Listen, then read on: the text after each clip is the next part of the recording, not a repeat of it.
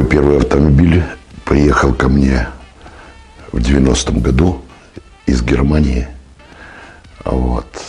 И, значит, он был, по-моему, 76-го или 78-го года выпуска. Это была копейка в очень хорошем состоянии и очень хорошая копейка. Но в семье первый автомобиль был у папы, была шестерка.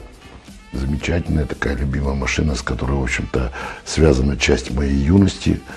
Э, А вот моя личная, первая была копейка. Комплектация там вообще была фантастическая. Так, уже тогда, в 90-м году, таких не было. У меня была лентая крышка блока. У меня была копейка, потом была одна пятерка, и потом еще одна пятерка.